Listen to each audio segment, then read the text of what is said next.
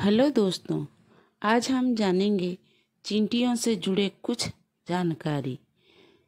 कुछ चींटियों की बिल ज़मीन से दो फीट गहरे होते हैं।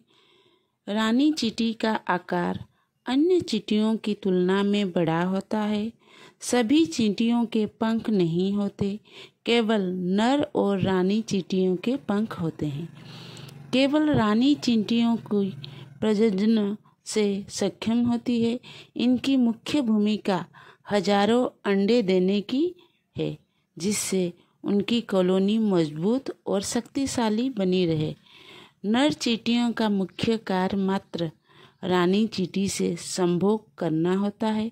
उसके बाद ये अधिक दिनों तक जीवित नहीं रहते।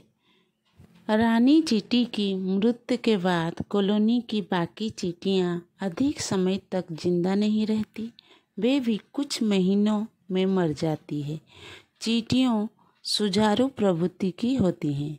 यदि उनमें लड़ाई हो जाए तो वो मरते दम तक हार नहीं मानती और लड़ती रहती है।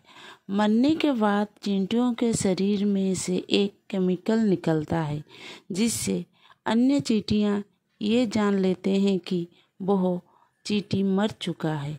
मरने के बाद चीटियों के शरीर से निकला केमिकल यदि दूसरे चीटियों पर डाल दिया जाए तो अन्य चीटियाँ उन्हें भी मरा समझने लगेंगी।